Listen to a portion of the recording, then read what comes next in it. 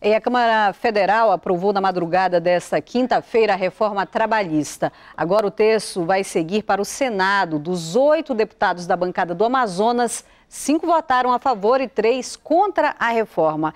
E olha, aqui em Manaus a proposta não agradou os trabalhadores.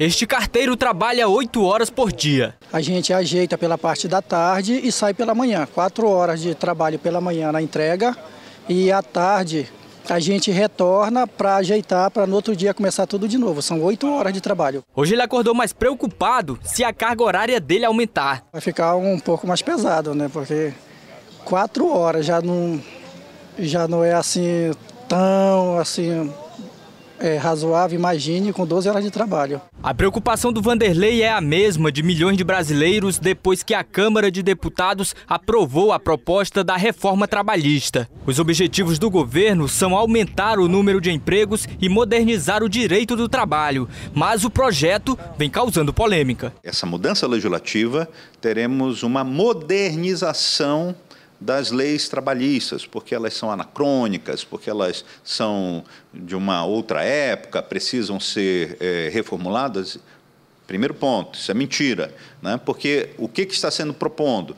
é um retrocesso social, uma diminuição clara de direitos trabalhistas. A votação terminou na madrugada de hoje. Dos 17 destaques apresentados, as propostas de alteração do texto, somente um foi aprovado. Foram 296 votos a favor e 177 contra. Agora o projeto de reforma da lei trabalhista segue para o Senado. Mas para os especialistas em leis trabalhistas, se caso sancionada pelo presidente Michel Temer, a reforma não vai beneficiar beneficiar em nada o trabalhador. Se eu reduzo o direito trabalhista, isso aumenta o número de empregos? Não.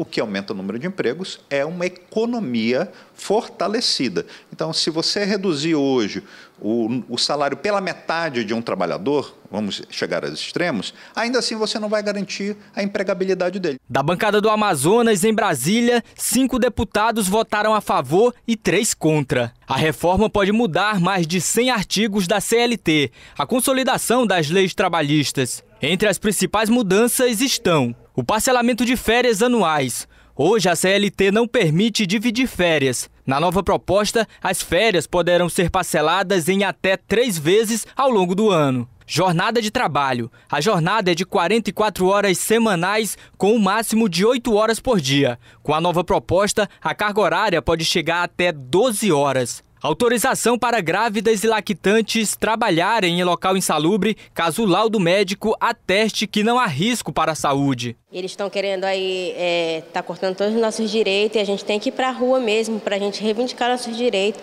porque se isso for aprovado mesmo, nós estamos é, simplesmente a nossa classe trabalhadora está, como diz o português, a gente estamos ferrados, né? O pessoal, uma jornada de 12 horas, tem condições, né?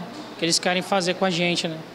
Tirando, tá aumentando a jornada de trabalho, né? não tem condições. A proposta diz que vai respeitar os acordos coletivos feitos entre patrões e empregados, além de não alterar direitos como receber o salário mínimo, FGTS, férias e 13º salário. Acho que a única proposta boa desta, dessa mudança é o fim do imposto sindical, que permite que os sindicatos se tornem representativos. Nesta sexta-feira, uma manifestação geral da classe de trabalhadores está confirmada em todo o país. Aqui no Amazonas, até juízes trabalhistas e funcionários do Distrito Industrial vão aderir. Não tem condições, retirada de direitos, rasgando a CLT. Os protestos estão marcados para o início da manhã desta sexta-feira.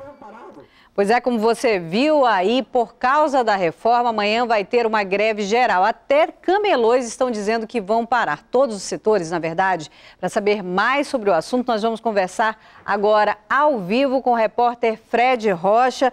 Muito boa noite para você, Fred. Afinal, o que, que vai funcionar e o que, que não vai funcionar amanhã? Muito boa noite, Marcela. Boa noite a todos. Vamos começar falando pelos servidores públicos, né? A Central Única dos Tra Trabalhadores disse que os servidores estaduais estaduais e federais daqui do estado do Amazonas devem aderir à paralisação. Em contrapartida, o governo do estado informou por meio de nota que os órgãos estaduais devem sim trabalhar normalmente. Se existe uma incerteza quanto a esses trabalhadores, o mesmo já não se pode dizer de outras categorias de trabalhadores, como o Sindicato dos Bancários, Petroleiros, dos funcionários do Distrito Industrial, do, da Construção Civil e também dos vigilantes. Inclusive, o Sindicato dos Rodoviários queria parar uma, a maior parte da quantidade de frota de ônibus aqui de Manaus. Mas aí o Tribunal Regional do Trabalho resolveu entrar e determinou que amanhã os funcionários, os sindicatos rodoviários trabalhem com pelo menos 70% da frota de ônibus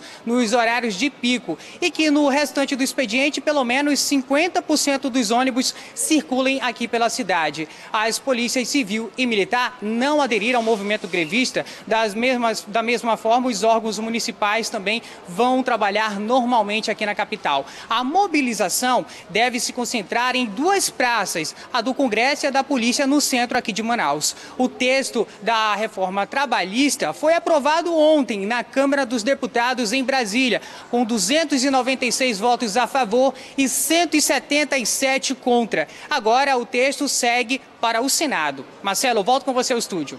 Obrigada, Fred Rocha. Daqui a pouquinho a gente conversa novamente com o Fred. Olha, agora vamos a umas imagens curiosas que foram gravadas agora há pouco. Vamos encher a tela aí com essas imagens é, do céu, né? Pedi para botar aqui no meu vídeo também para eu poder acompanhar alguns pontos que foram vistos, olha essas bolinhas aí, né, no céu aqui de Manaus. Muita gente comentando, muita gente querendo saber o que que é, comentando inclusive pelo nosso Facebook do Amazonas em Tempo, e tem várias versões, né? A gente está trabalhando ainda apurando o que será isso. Esse, nesse momento é o céu de Manaus, você vê aí essas bolinhas. É, já se falou em alienígena, uma invasão alienígena, claro que essa hipótese foi descartada, que seriam torres de rádio também aqui e muita gente, muita gente realmente viu essas imagens e até a gente recebeu imagens de telespectadores agora há pouco também que nos mandaram pelo WhatsApp, pelo Facebook, mas a versão mais é, certa até o momento, pelo que a gente apurou, é que são balões meteorológicos que podem ser do Google para aquelas fotos de Google Map, né? Ainda não está é, confirmada essa informação. Amanhã a gente com certeza no programa agora e no boletim em tempo a gente vai dar essa informação mais bem apurada para você. Por enquanto podem ser balões meteorológicos.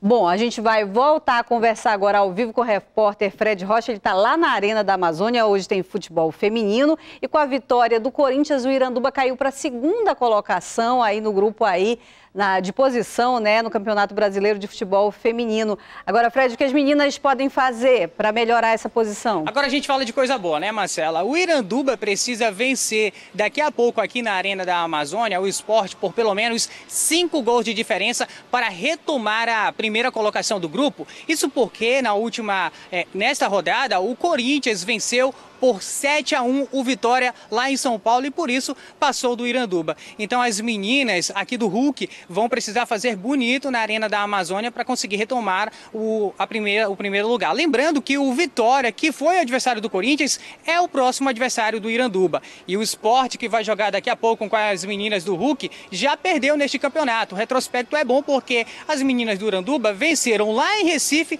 a equipe é, de lá por 2 a 0. Expectativa muito grande por mais uma vitória. O Iranduba só tem uma derrota nessa competição e busca então mais três pontos para garantir aí a primeira colocação caso goleie aqui na Arena da Amazônia. Os detalhes desta partida você vai acompanhar durante a programação da TV em Tempo. Eu volto com você ao estúdio, Marcela. Obrigada, Fred Rocha ao vivo lá da Arena da Amazônia. Sorte aí para as meninas do Hulk. Jornal em Tempo volta amanhã, 18h15. Até lá.